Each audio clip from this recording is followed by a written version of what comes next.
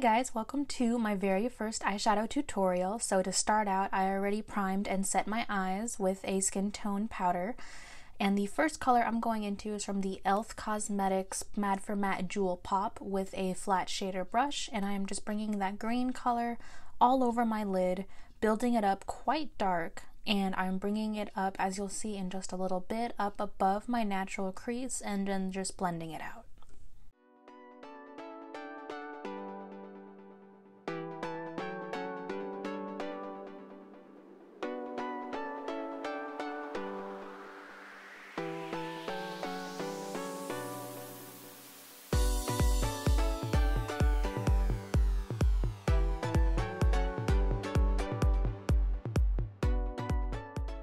I didn't want to fast forward through this bit because I really do want to show you the process of how long it does take to build up the shadow and to blend it out once you do reach either your natural crease if you want to cut it there.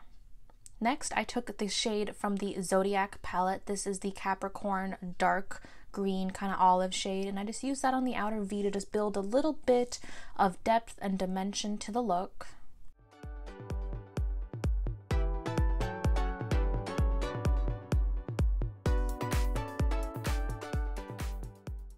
And then I just took a fluffy blending brush and began to blend out the corners of the, or the edges of the green shadow. Next, I went into the Subculture palette and took the shade Edge right there, that yellow edge color, and I began to blend it into my, above my natural crease, but into where I'm creating my crease, and blending it into where the green shadow ends.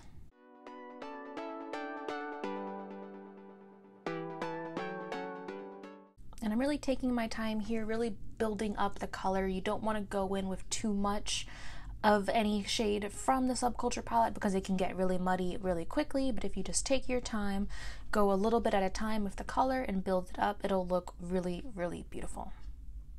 And also, as you can see, I do have quite a bit of fallout, so I am doing my eyes first before the rest of my makeup.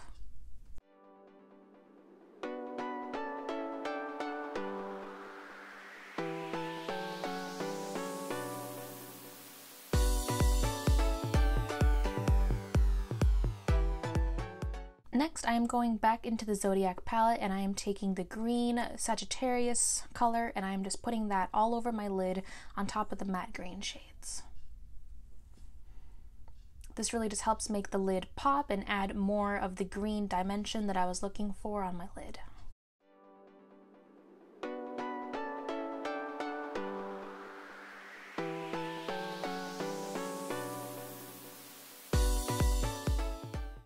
Next, I just take a makeup wipe and I clean up all of that fallout and make a nice crisp line.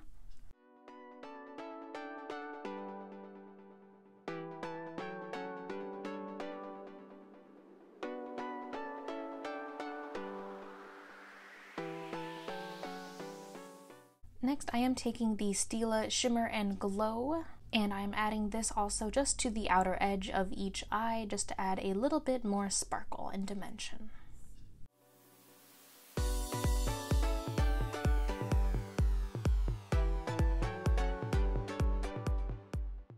As you can see, I'm adding just a little bit and then blending it out with my fingers just so that it prevents creasing and blends out just a little bit better.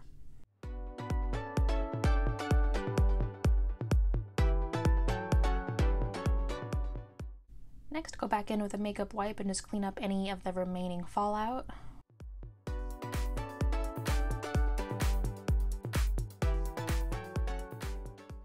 For my eyeliner, I first go in with my Physicians Formula in Ultra Black just to draw the actual outer edge of the wing.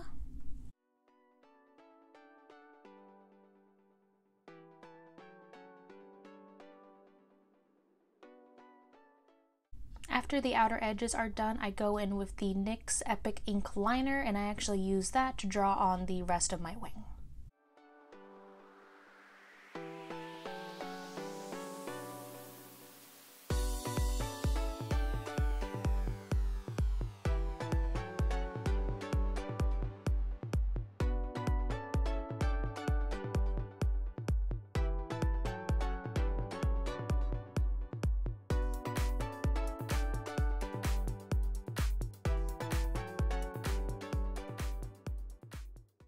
Today I'm using the Marc Jacobs Velvet Noir mascara.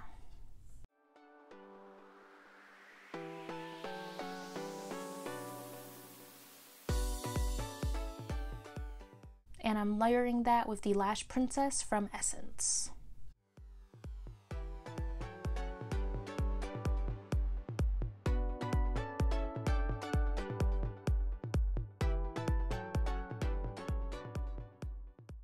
And that is the final look. From here, you could either do your base makeup and put on the rest of your foundation, concealer, or you could leave it like this, as I did. I didn't wear foundation this day. I really enjoyed this look and I hope you enjoyed this video as well. Thank you so much for hanging out and checking out this video. Don't forget to give this a thumbs up if you like this and you want to see any more tutorials in the future and I hope I'll see you in my next video. Bye!